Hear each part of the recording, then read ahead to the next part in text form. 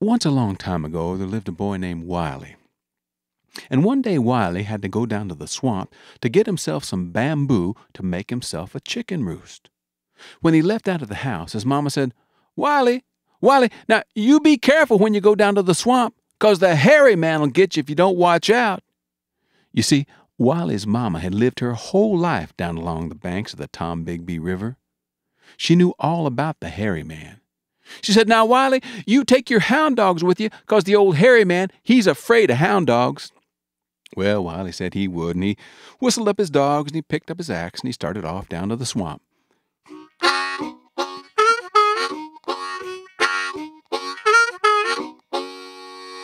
He hadn't gone too far till he found himself a nice big stand of bamboo trees. He pulled out his axe and he started to chop.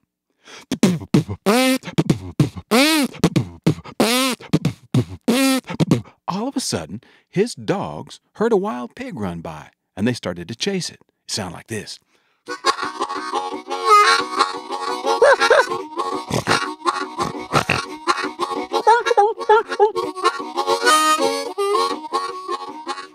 They got so far away Wiley couldn't even hear those dogs. He just kept on chopping and thinking, Ooh wee, I hope that old hairy man doesn't come now. But when he looked up, there he was coming right for him. Now he was big and he was hairy. He had eyes that glowed like coals. He had long, white, pointy teeth with green moss growing all over him. He had long claws on the ends of his fingers, and he had hooves like a cow. When Wiley saw those hooves like a cow, well, he knew a cow couldn't climb a tree. Figured the hairy man couldn't either. Turned around and found himself a, a big, tall tree and climbed right up to the top. Hung over the edge and looked down. He said, Hello, hairy man. The hairy man looked up and said, Hello, Wiley. Wiley said, uh, What you got in your big old sack there, hairy man? The hairy man held up his sack and said, I got nothing in it yet, Wiley, but I will pretty soon.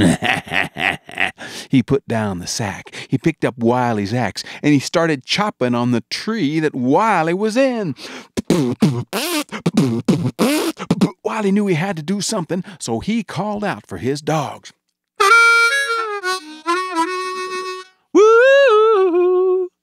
And he listened.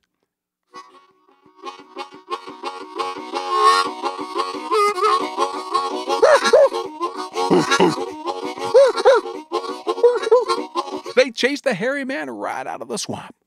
Wiley came down out of that tree. He went home and he told Mama what happened.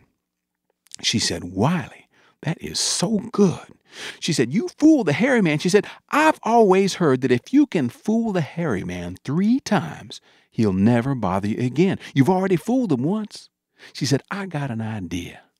Tomorrow, you go back down to the swamp. Leave your hound dogs tied up here at home.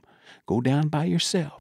And when you see that hairy man, you say, Hairy man, I hear you're the best conjure man in these parts. Wiley said, What's a conjure man, Mama? That's a man that can do magic, Wiley. You ask that hairy man to turn himself into some big kind of animal, and he can do that. And then ask him to turn himself into something smaller. He can do that. And then ask him to turn himself into something smaller yet. And when he gets to be a little small animal, you pick him up, you throw him in that sack, you run down to the river, and you throw that sack in the river. Wiley said, Ooh, Mama, I don't know if I can do that. She said, You can do it, Wiley. I know you can. He said, I'll try.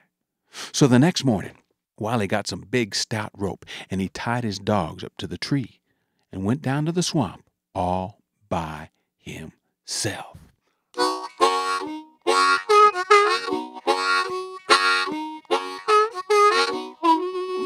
He hadn't gone far when he looked up and he saw the hairy man coming right for him. He said, Hello, hairy man. The hairy man said, Hello, Wiley. Wiley says, I, I hear you're the best conjure man in these parts. Well, I reckon I am, Wiley. I, I bet you can't turn yourself into something like a, a, a giraffe. That's easy. The old hairy man just turned once around and turned into a big old long necked giraffe. Wiley looked up. He said, Ooh, that's pretty good. Uh, But I bet you can't turn yourself into something like an alligator. That giraffe turned once around and turned into a big, long jawed alligator right there in front of Wiley. Wiley jumped back. He said, Ooh, that's real good. But I bet you can't turn yourself into something smaller like, like a little possum. That alligator turned once around and turned into a little possum with long white teeth with green moss growing on them. Ooh! he ran up. He picked up that possum. He held it out in the sack. He dropped it in the sack and he went running down to the river. He got to the river and he threw it out as far as he could into the water. And it sank to the bottom.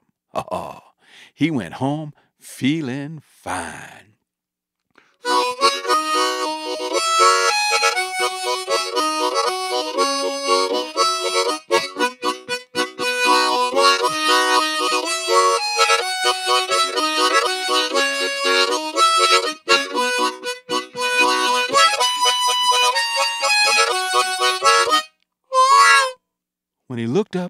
He saw the hairy man coming right for him out of the woods, he said, Hairy man, how'd you get out of that sack?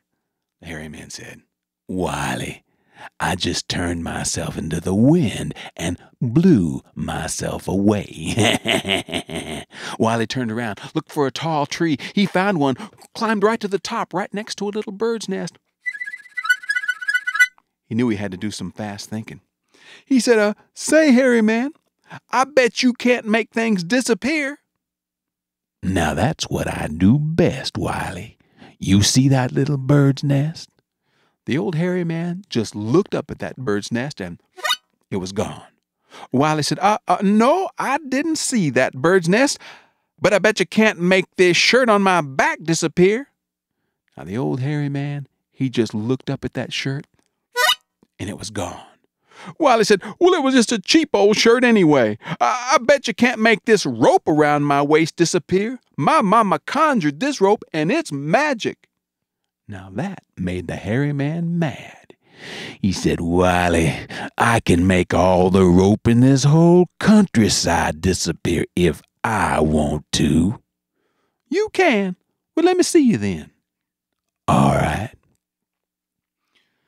Ungai, mungai, chicka chacka chungai, alligator ungai. All the rope in this whole countryside disappear.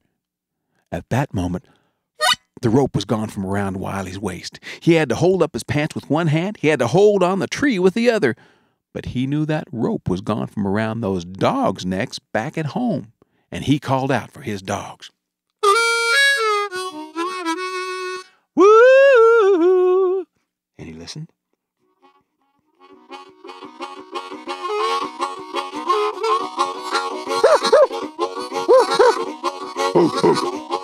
They came through there. They chased the hairy man right out of the swamp, right down the middle of an old dirt road. There was an old Model A Ford coming through there. It almost ran over the hairy man and the dogs, too.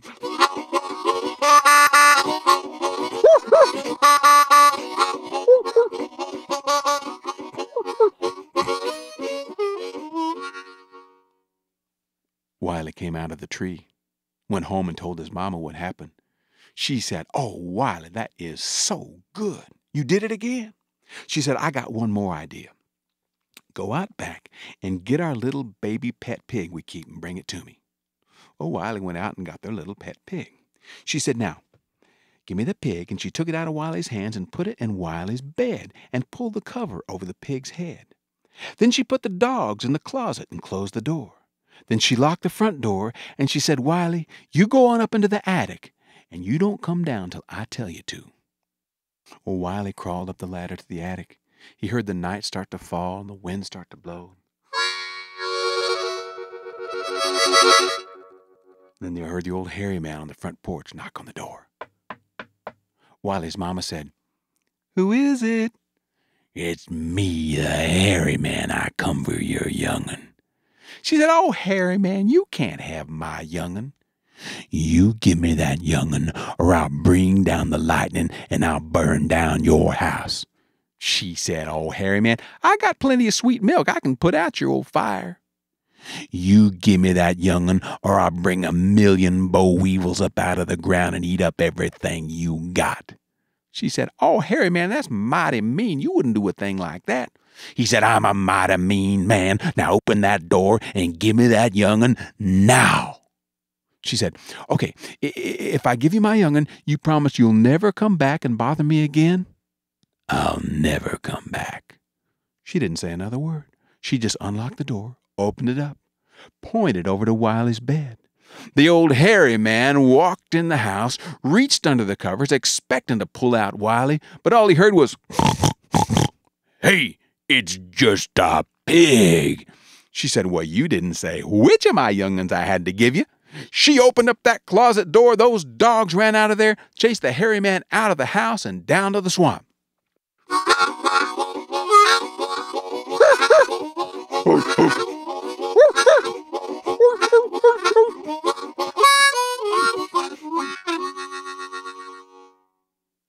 Wiley came down from the attic. He said, Mama, is the hairy man gone? She said, He's gone, Wiley. We fooled him three times, and he'll never be back to bother us again.